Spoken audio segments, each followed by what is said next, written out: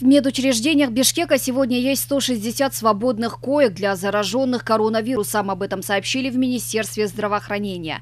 По его данным, дополнительную информацию можно узнать на сайте, где опубликована карта стационаров. Свободные места на 7 июля имеются в Республиканской клинической инфекционной больнице, клиническом родильном доме номер 2 Чуйской областной объединенной больнице, на Центре онкологии и гематологии, Национальном центре охраны материнства и детства, Республиканском Медицинском центре наркологии, военном госпитале, Институте курортологии и восстановительного лечения, Суворовском училище.